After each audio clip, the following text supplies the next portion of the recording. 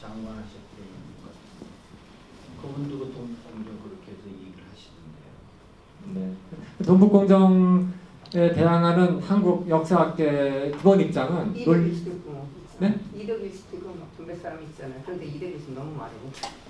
이덕일 씨는 대학 교수가 아니고요. 그래서 예, 아니에요. 그래서 지금 힘이 없습니다. 그래서 결국은 학자들이 말을 해줘야 되는데 어, 인하대학이 지금 그래가지고 지금 어, 정부로부터 매년 5억씩 해가지고 7년간 어, 35억 하는 프로젝트를 하고 있는데 그게 뭐냐면은 조선사 편수에서 쓴 책이 있습니다. 네. 조선사 35권이 있습니다. 네.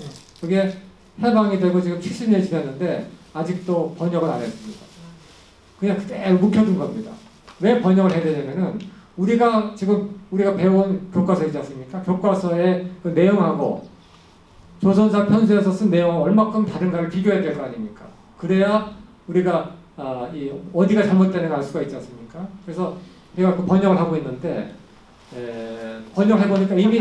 조선사 편수라는 것은 일본에서 그 우리가 저 통쯤이야 김인현 사건 이후에 한국 사람들 역사가를 데려가서 그러니까 최남선 씨도 그중 하나 있을 때 최남선 씨가 고조선에 것을 놓아져 된다고 싸, 싸웠죠 손흥 뭐죠 그저 뭐야 일본 교수 근데 그때 기다려라 해놓고 그건 싹 빼고 해놓은 것이 결국 거기서 이병 저 이병도 선생님이나? 이병도 그- 선생이 네네. 그것을 고대로 해서 서울대학에 줬어요. 그래서 서울대학에 줬고 고려대는 강만열 씨 주류가 또 그와 같은 거고. 고려대는 이제 신석호 선생님이 신석호. 네, 그러니까 똑같은 그 계- 계열들이 지금 자리 잡고 있고 네. 거기다가 우리나라 교과서 자체가 전노조와 그죠 교조와 이런 걸로서 교과서 지금 아이들이 20세 먹은 아이들이 6.25라는 것이 북침이라는 북침이라는 사건으로 외고 있다라는 것은 그것도. 또 다른 왜곡이 또 있죠. 거기다가 지난번에 국회에서 이 환단고기 얘기도 하고 동부가 공정이 잘못됐다고 해서 그 사람도 불러내서 왔다는데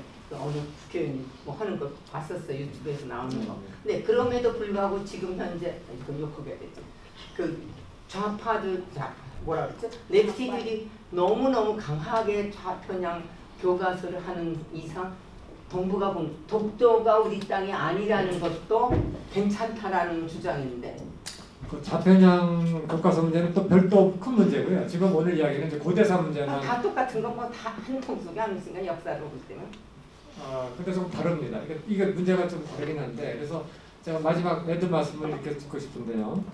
이, 우리가 한 2년 됐습니다. 번역을 한지. 그랬더니 놀랍게도 오늘 이야기 들으시면 아마 뭐 자면서 생각 많이 하실 겁니다. 우리 고려사, 어, 우리 저 교과서에서 고려를 영토를 어떻게 배우셨습니까? 대략 원산 에서 함흥 혹은 압록강에서 원산 이렇게 배우셨죠. 근데 그거는 우리 조선 왕, 왕조 때 조선, 조선에서 썼던 고려사에는 그런 내용이 없다는 겁니다. 다시 말하면은 우리 조선 왕조 때 썼던 고려사에 보면은 우리 고려 국경이 만주 위에 올라가 있습니다. 고려 서출령이라든가 고려 고려 때요. 네네. 그래서 이 저 이성계한테 최영 장군이 요동 수도고 시킨 겁니다. 원래 고려 땅이었으니까 돌아가라고 한 겁니다. 근데 지금 우리는 어떻게 되었냐면은 이 한반도도 다 우리 땅이 고려 땅이 아닌 걸로 하고 있는데 그거는 뭐가 똑같은 얘기냐면은 조선사 편수에서 그렇게 써놓은 겁니다. 그러니까 우리 70년 동안 누구 장단에 춤을 추고 있었냐면은 우리 우리 역사자 고려사대로 우리 교육을 하지 못하고 일본 사람들이 한국은 게으르고 무능하고 무기력하고 타일적인 민족이라는 걸 머릿속에 낙인 찍기 위해서 쓴 교과서, 아, 그 교재 그대로 우리 애들을 가르쳐온 겁니다. 그래가지고 애들 보고 너희 조상은 무능한 민족이었다고 끊임없이 세뇌시켜온 겁니다. 그건 우리 아이들에 대한 끔찍한 폭행, 폭력입니다. 단순히 애들 따기 때리는 폭력이 아니라 자긍심을 무너뜨리는 게 얼마나 끔찍한 폭력입니까? 애들 보고 넌, 넌 못나서 못나서 그래 진짜 못나져요. 어른들의 죄죠. 어른들이. 네, 제가 선생이기 때문에 압니다. 제가 한 번은 어떤 그 공대생이 저한테 와가지고 선생님, 제가 공대생인데 매무옷을 봐서 붙을 수 있겠습니까? 묻더라고요. 근데 얘 얼굴 보니까 얘가 성실하게 생겼어요. 그래서 넌 확실하게 할 수 있어. 돼. 딱 그랬어요. 그때 3년 후에 붙었다고 연락이 왔습니다. 제가 만약 그 자리에서 너는 안 돼. 그랬으면 걔는 꿈을 접었을 겁니다. 그만큼 우리가 애들한테 할 수 있다. 너는 능력 있는 애들하고 하는 게 얼마나 중요한 교육입니까? 그게 가장 주- 교육의 출발점인데 교육의 출발점에서 우리는 역사 교육을 어떻게 합니까? 너희 조상은 무능하고 무력하고 남에 의존하고 사대주의에 쩌든 민족이니까 그렇게 알아라고 한다면 그, 그 배운 애들이 자, 자의식이 어떻게 되겠습니까? 그래서 이 문제는 이게 역사 광복의 차원에서 풀어야 된다라고 저는 보고 있고 어, 저는 제가 뭐 거대한 무슨 뭐 독립투사도 아니고 최소 우리 애들한테는 자긍심을 무너뜨리는 교육을 시키지 않, 시키, 시키고 싶지 않기 때문에 제가 이 문제 제기를 하는 겁니다. 그거보다 더 큰 폭력이 없다고 보는 겁니다. 애들한테 가장 중요한 게 자, 자신에 대한 자신감이거든요. 그다음에 자기 조상에 대한 자신감이거든요.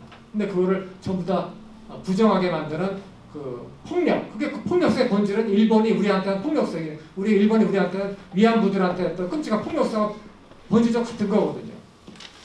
그걸 우리한테, 우리 애들한테 우리 가르친다는 거는 그건 끔찍한 거 아닌가. 그래서 그 이 문제를 국내에서 아무리 얘기를 해도 국민들이 잘 모르는데 이 전 세계에 흩어진 우리 예, 한민족이 힘을 합쳐가지고 이슈를 제기하면 빨리 이게 소통이 된다는 겁니다. 그래서 어, 저기 그 미주 교포사회에서도 이 문제를 어, 단순히 손자들이 할머니 할아버지 존경하는 뿐만 아니라 이 우리 조상이 어떤 사람이었기 때문에 나도 할 수 있다. 그 다음에 그 할 수 있다라고 하는 것은 남을 지배하기 위해서가 아니라 우리가 주도해서 세계를 평화롭게 만드는 선도 역할을 할 수 있는 민족이라고 하는 것을 가리키기 위해서 그렇게 하자는 겁니다.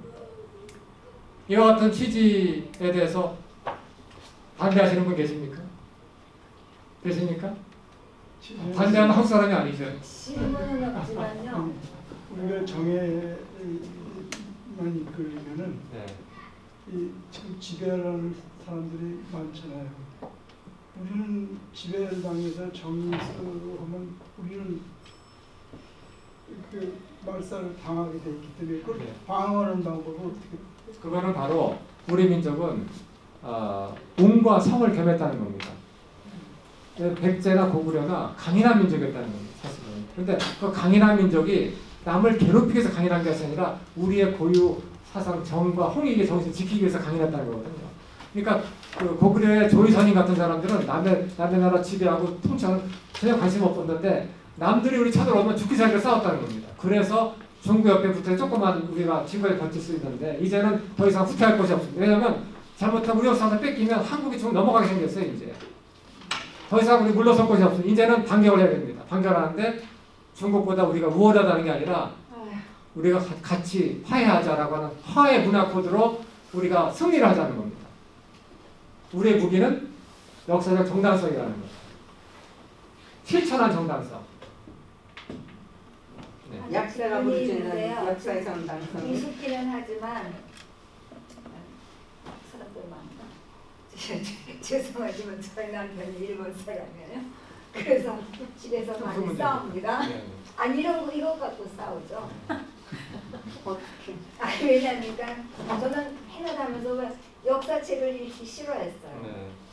역사책은 맨날 그 수치 한 번도 남의 나라를 나는 그러니까는 네. 결국에 가서 저- 저의 종교는 우리나라는 한 번도 남의 나라를 침범한 적이 없다. 다만 일본이 너네가 서양 문명을 먼저 들어와가지고 총으로 우리를 죽였기 때문에 우리가 이렇게 한 것이다. 이게 작아졌다 이렇게 얘기를 했는데 저기 맨 끝에 3번 있잖아요. 홍산인과 같은 명상 수행을 통해 마음의 평화와 건강 회복.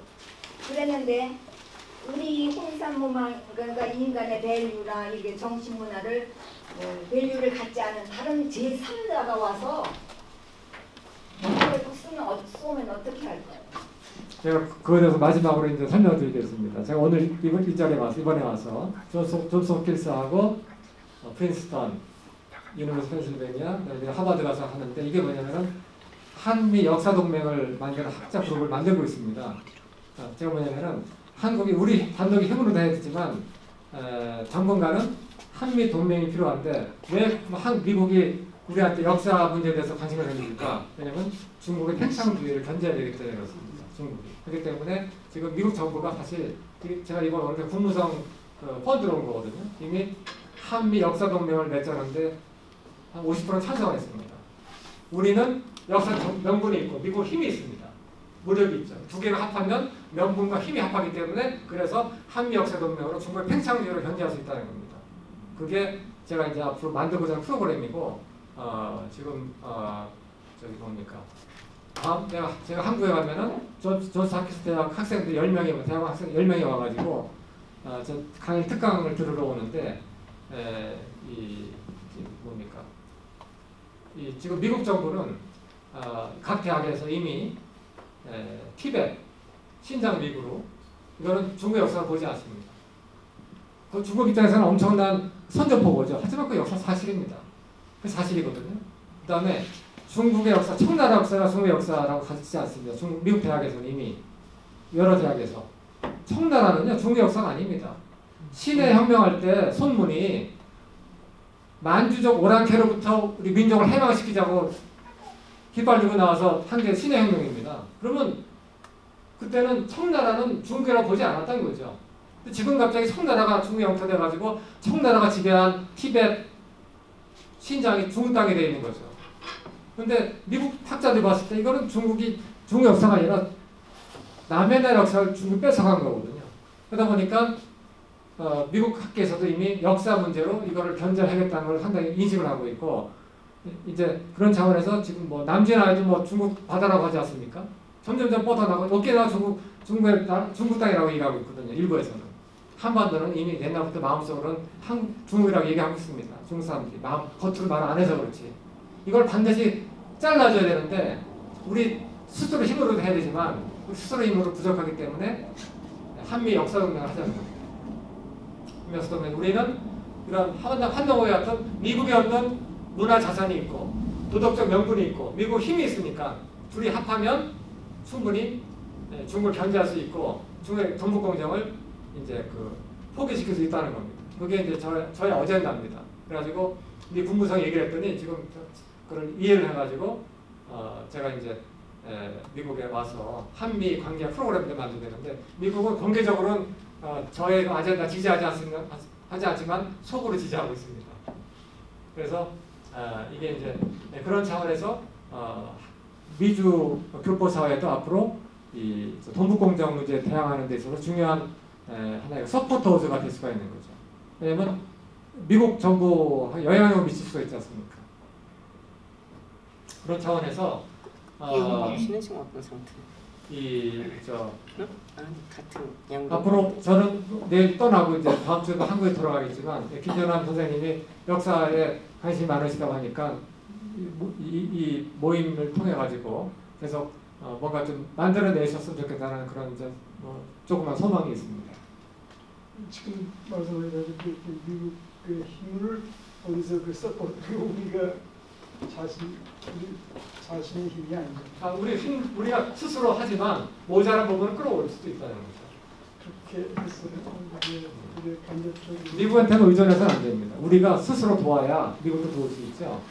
아, 근데 명상 수행을 하는 우주의 기운을 받아가면서는 어, 지금의 그 옛날 사람들 사명당 같은 사람들은 많은 사람 을 대적할 수도 있었잖아요. 혼자서의 영 지금으로 말하면 영역이지만은 우주의 기운을 기운을 받을 수 있는 그런 그 사심 없이 우주의 기운을 쓸 수 있는 사람 그런 사람들이 요즘에도 있어요. 그런 사람들의 몇 명만 있으면 아니 뭐 지금은 다 그런 것들이 무슨 만화책인가 나오는 것이든지 뭐 있지만 옛날에는 그런 일들이 많이 있었잖아요. 삼국지나 뭐 이런 거 보면은. 음, 그 근데 우리는 지금은 다 그 옛날 얘기고 지어낸 얘기로 이렇게 실제로 그 사람의 그런 능력이 감춰져 있는지 그거를 개발하는 이제 우리가 개발해봐야 알겠죠. 저도 모르겠습니다. 얼마큼 개발이 될지 인간이.